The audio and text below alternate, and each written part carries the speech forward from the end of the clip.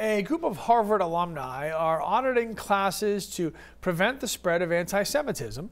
According to the Boston Globe, members of the Harvard Jewish Alumni Alliance have been sitting in on multiple classes to see if there is any anti Israel or anti Jewish sentiment being taught.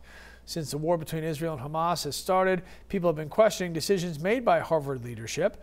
Admins there have been questioned by Congress, and a group of students sued the school last month saying that they're not doing enough to support the Jewish undergraduates.